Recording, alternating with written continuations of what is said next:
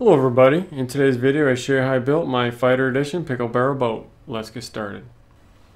Now that I have my template in place, I'm going to go ahead and drill a pilot hole and then use a jigsaw to cut out my opening. Now from the center line I will cut a hole 9 inches down and 2.5 inches across on both sides. Alright, the same measurements as the front, it's going to be 9 inches down and 2.5 inches from the back on both sides. Here I've cut some 2 inch PVC uh, to 28 inches long and inserted them across both ends.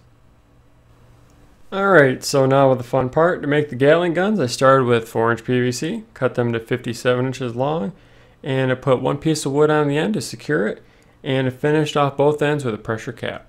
So here I've attached the bucket lid to the end of the PVC that had the wood on it.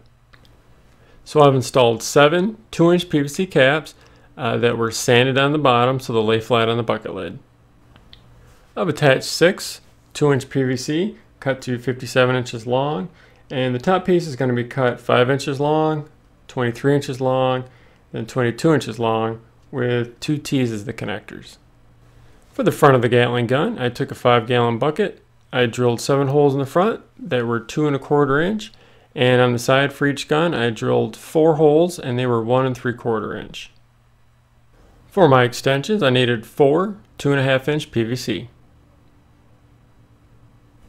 Now I need to add a T to each of my extensions. Now to finish it off, I stuck a 5 gallon black bucket on the end and it was filled with styrofoam. Alright, now I've attached my Gatling guns and everything is secured with PVC cement and screws. So for the wings I took another pickle barrel, cut out a quarter section, two of those, and just attached those on with screws. So now I'm going to add a PVC that's four and three quarter inch long to the two T's that are on the end of the boat.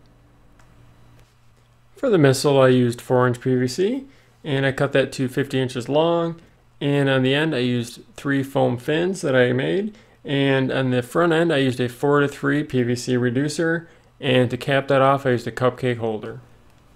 So here I've added a piece of wood that fits into the 2 inch PVC and just secured that down.